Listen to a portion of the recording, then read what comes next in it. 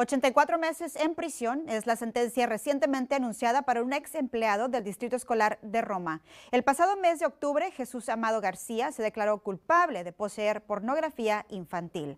Además del tiempo en prisión, García debe pagar 40 mil dólares en restitución y registrarse como delincuente sexual después de salir de prisión. Las autoridades dicen que estaba empleado como trabajador de mantenimiento para Roma ISD al momento de su arresto.